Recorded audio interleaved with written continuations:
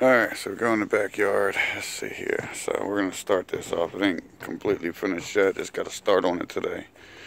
But this is what the track is going to be like. So actually start here, come up. We're going to actually do some more to this board too.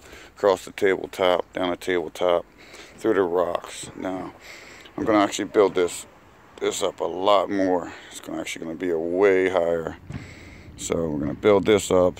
So you come through the rocks, and that means you're gonna come up a big hill, down the hill, thinking about what I'm gonna do in here, okay, around the turn, okay, that jump don't matter, around the turn, up the jump right here, and then cross the finish line for the win.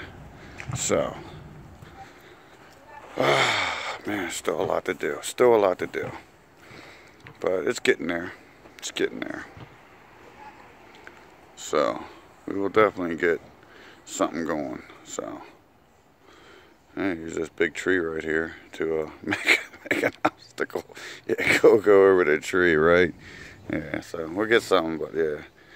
This is just getting started. It's just what I come up with. And like I said, I'm going to put some things on the board, the table, down the table, through the rocks. And then this hill right here is going to be built up a lot higher, probably about here.